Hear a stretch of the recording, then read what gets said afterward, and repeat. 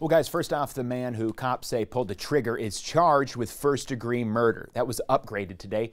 Court documents paint it as a bar fight that escalated. As for the victim, as you mentioned, it's not the first time he's made headlines. This is the victim, 45 year old Topher Clark. This photo of him is from several years ago, but it was in the early 2000s when his first name appeared in news stories. Clark and a friend were involved in a large marijuana ring and smuggled millions of dollars worth of pot from Canada into North Idaho. It all came crashing down following the 2002 death of a rival drug smuggler in the area, according to reports.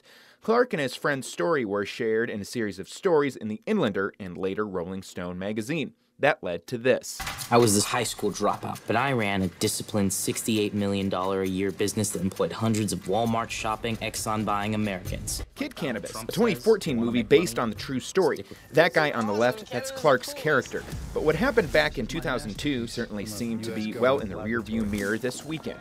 Court documents show that Clark and friends were at this Hayden bar when Clark and this guy, Scott White, got into an argument. A bartender asked White and his girlfriend to leave, but at some point both he and Clark wound up outside, and Clark had been shot several times.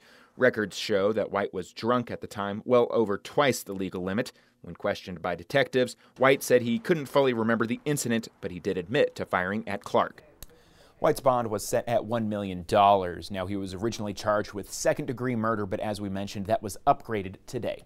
In the newsroom, Taylor Viydo, 2 News.